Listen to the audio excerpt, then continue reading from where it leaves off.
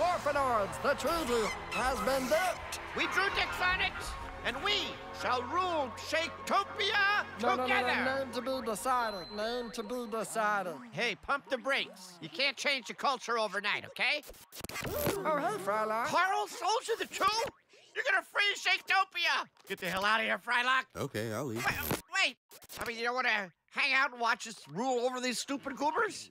They don't even care that we call them that. They think it's a compliment. Yes, yes, it is. Thank you, Lord. I am but a stupid goober. He was licking my ass like 20 minutes ago with a smile on his face. Yeah, he's gonna be licking mine soon, too. It's all innocent fun. We get along good in here. There's unity on this balcony. Well, I know it's cold out here, so I brought some sluggy buggies for all your little. Uh, are they slaves or? We don't use that word. We prefer the term unwilling servant.